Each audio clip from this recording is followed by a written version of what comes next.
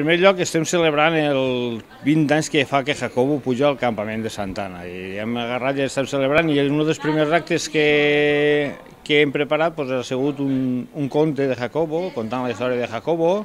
Al mateix temps han fet un concurs de literari de dibuix durant totes les escoles que han participat, totes les escoles del poble. Ha sigut prou massiu, tenim més de 500 dibuix, dibuixos i, i treballs, i estem en això, en la celebració del 20 aniversari de la pujada a Jacobo al campament. I avui anem a presentar un conte, el conte que hem escrit, anem a fer una xocoteta de representació i això per presentar el conte i anem a fer l'entrega de premis a xiquets que han guanyat el concurs literari de dibuix.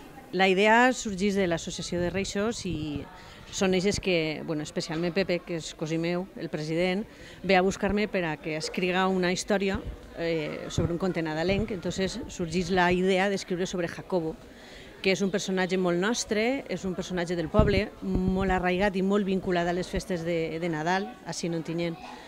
I vaig començar a escriure eh, pues, basant-me en una idea no fantàstica, perquè seria llevar-li tal volta la credibilitat que vull que tinguen els xiquets. No?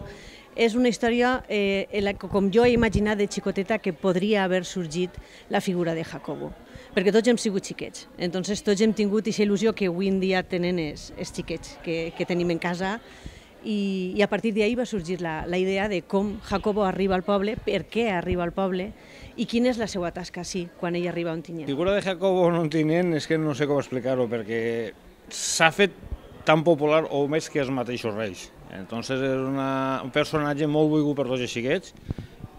La prova està que l'any passat en el campament els últims xiquets eren a les 11 de la nit, estaven a Jacobo, va ser bestial, jo que sé, és una figura molt entranyable per, per la gent del poble. N'hi ha diverses coses, n'hi ha diversos detalls eh, que no es revelen clarament al conte, com és el paper dels patges i dels ajudants dels reixos, que són les persones que estan eh, en el cel, que és on està el Palau eh, d'Orient dels Reixos. Vale? És, és, és un poquet, eh, no una comparativa, però sí una manera de fer entendre que les persones que nosaltres volem i ja no estan, estan en el cel, són les persones que estan ajudant als reixos a, a, a portar els regals i, i tot aquest tipus de coses. I això és, això és un punt, crec que important a tindre en compte. Per altra part, hi ha una anècdota real sobre Jacobo i es pot llegir en el conte i n'hi ha un xiquet que, que li demana a Jacobo comprar-li el seu gamell.